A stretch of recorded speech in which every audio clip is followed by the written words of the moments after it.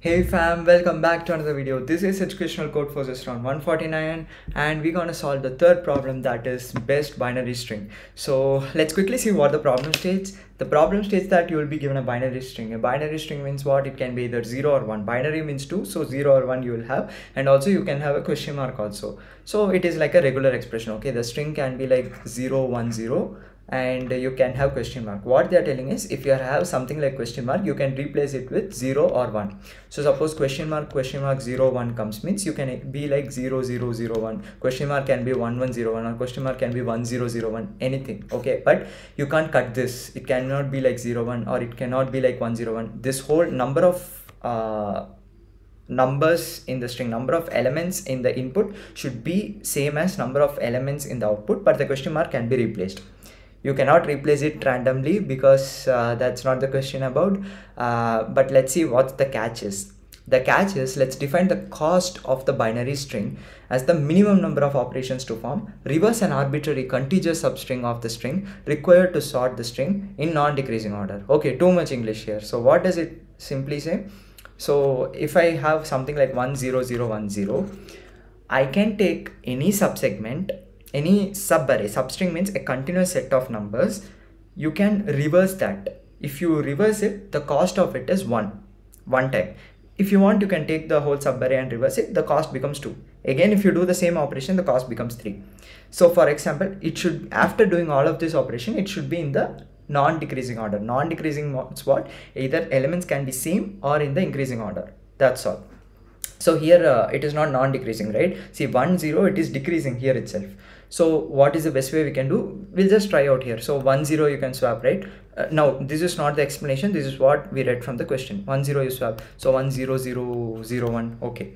Again here this thing again i can swap right? 1 1 0 0 0 again i can swap this 0 0 0 1 1 so i sorted it but i took around three operations. Can i say i can reduce it to some di uh, different operations 0 0 1 0 okay what do I do I can simply take this and let's say 0 1 I can reverse it right? 0 0 1 now what do I do? Probably I can swap this. 0 0 0 1 1 see here I took 1 2 3 operation. Here in two operations itself I got non-decreasing order. But the thing is you don't have to do all of this. What you have to do let's see. Now they told this like this is the operation about. They tell that whatever be the minimum value we should take this now, you have to find a binary string with the minimum possible cost among those that match uh, among those that match the given pattern. If there are multiple answers, you print any of them. See, this here, the best value is 2. But uh, if it is something like, if it is possible to form an array like 1111, what is the best value? It is 0, right? You don't have to swap at all. If it is uh, 1, 0, what is the best value? You just have to swap only once you may say that okay 0 I'll swap alone and 1 I'll swap alone there will be two operations. So the best value is like how do you form an array to form a best value? Suppose if they give everything as question mark what what all the values you can do? You can do 1010 also valid but it will take around two or three operations to make it sorted. That is non-decreasing order.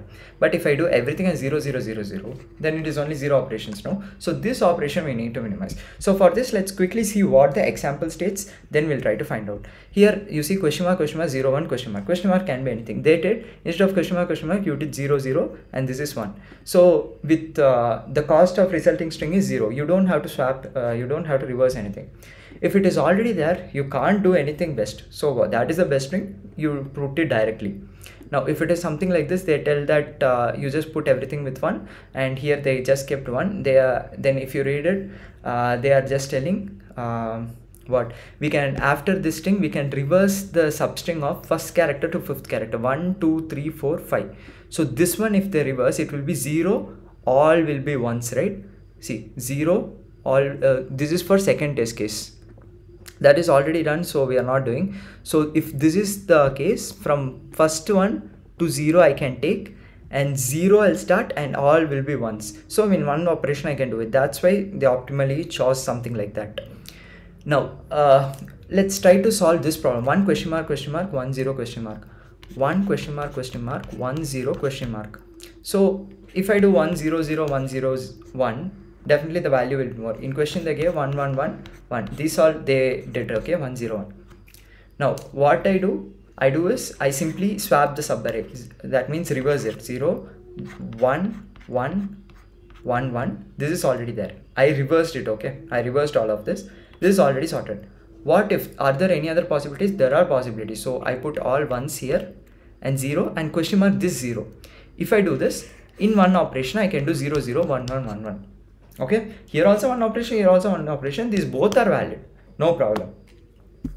So if uh, now coming to the second one. Second one we can't do anything because uh, the case is it's already everything is done. Okay? You can't replace any character. So whatever be the number you directly write it.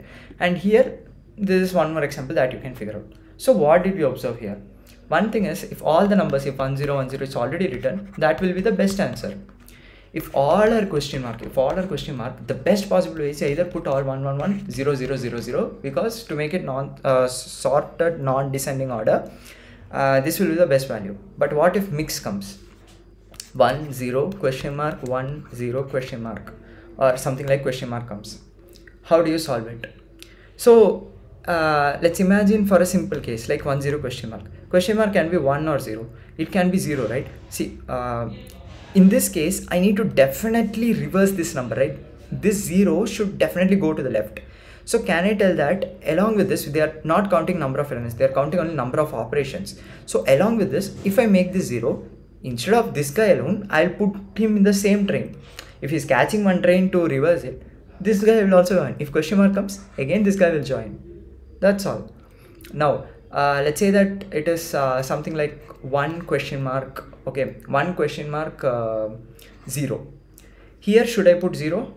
I should not put zero right? Here one should definitely go to the right side. Zero should come and one should go. Here zero is also not possible. If i put one here one one zero it will be zero one one. This is also possible. If i put zero here what happens? Zero here means i'll simply shift this. But this became too complex. We can't generalize anything. So what do we do whoever is coming with me i'll check whether my friend is also coming with me on the train or not. So if i put one i can simply put one here and see whether this can go to the same train or not. That means it can be reversed or not. So in this case uh, let's see that so if it is uh, question mark. So for example we can take uh, this only directly. One question mark question mark one zero question mark. One question mark question mark one zero question mark. 0 is at uh, 1 is here 0 is at bottom. So 0 should definitely come on the left side. So i say that hey i am 0 uh, i will be going so whatever be the number i'll put the same number here that is 0 so if he goes he will also go but what if this is question mark so if one is having any change this one can also have a change right I'll put one here. I'm not putting say zero because zero may or may not go to the left or right. But if this guy has any other change, this guy will also have that change. So I'll put one here. There's also one here. That's all. The question is not uh, about uh, arriving the solution. I think uh, they want to judge more on the implementation side. Because you can see it's very easy right? By seeing this itself i can see okay this is very easy nothing might be there. So how do you implement it? Suppose if it's question mark 0 1 you say that okay from the right element i can put 0 but if it is like 0 1 question mark i can't check it is right. It is on the left element so what should we do in that case? So for that we'll understand with the help of a simple example that is from the code.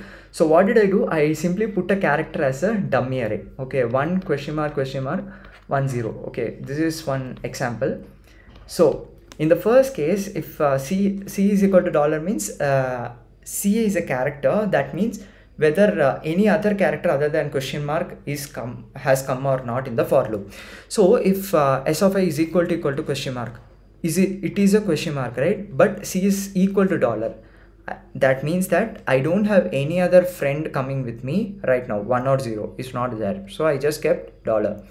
Now if s of i is not equal to question mark this is right there here it is not equal to question mark. Now c becomes what? It becomes 1 found means I'm just checking some number is there. So found is already some number. It is 1 now c is what? 1 now here question mark came. Question mark came c is not equal to dollar s of i. This question mark will be updated to 1 whatever happens with 1 this also will be 1 similarly question mark come. Whatever happens with 1 this also will be 1 this also 1 directly I can skip. It's not a number. Now 0 came. 0 comes means not equal to question mark c becomes 0 on the next iteration what happens? On the next iteration if question mark comes I'll simply put 0 so whatever change 0 is going through my friend also will go through. That is 0 that's all. If you put 1 here the operation might be increased. See suppose let's say 1110 question mark. If you put 1 here how much operation will it take? Uh, 0 1 I, I need to iterate this 1 1 1 1 0 I reverse then everything I reverse together right? But if I put 1 1 1 0 here if I put 0 in one operation I can put all in a sorted order. Here I took two or three operations. So that's the catch. Whatever is my friend whatever is the adjacent number you just put the same number.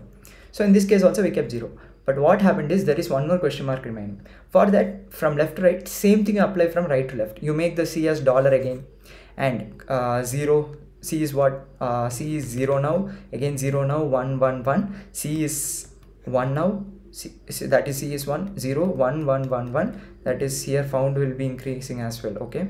And uh, if s of i is question mark we simply say that s of i is c now this also will be c now you got now 1 1 1 1 0 now found not equal to 0 that means what? Found not equal to 0 means okay there are some question marks in it. I already formed the array. I updated in real time string so i simply printed s and if found is 0 means what? Everything is question mark. Everything is question mark means the c will always be dollar. There are no zero or ones. Always will be dollar means you can simply either print all zeros or all ones. That's all guys. So i hope uh, you found it useful. And uh, the submission is here. And uh, if you have any other doubts please feel free to uh, drop in the comments. And if you have any feedback also please share. Thanks